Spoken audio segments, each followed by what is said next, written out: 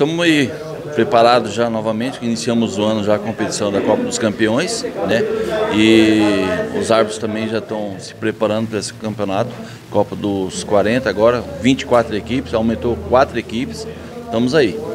É interessante, Wander, que a gente acompanhou vocês desde o primeiro evento há 13 anos atrás, né? Então, de repente, o um campeonato com 24 equipes, um campeonato desse, isso é bacana, né?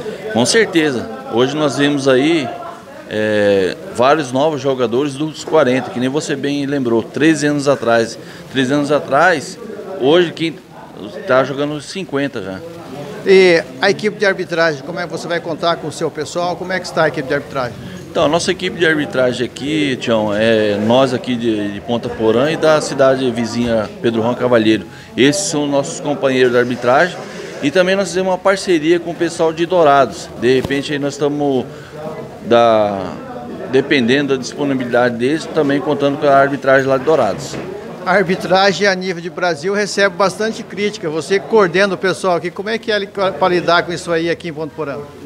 É, a nível de Brasil, nós aqui toda, toda semana recebemos também, mas é, as críticas sempre vêm por um bom motivo.